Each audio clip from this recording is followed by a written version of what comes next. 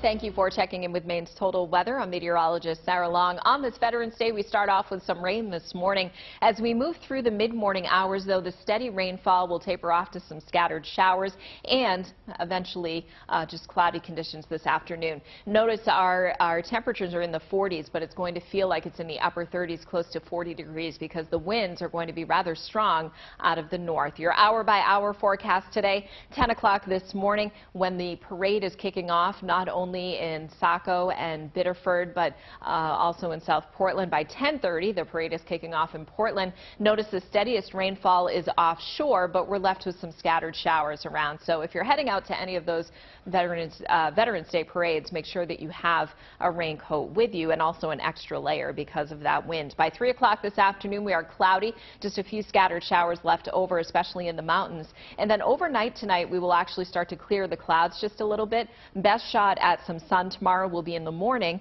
and then afternoon rain moves in, especially right around the evening commute. And that's when the rain will be steadiest. It moves out overnight, and by Friday morning, we are left with some sun and some warmer temps as we end out the week. In fact, look at these temps on Friday in the mid to upper 50s. Your eight-day forecast bright over the weekend as well with highs closer to 50 degrees.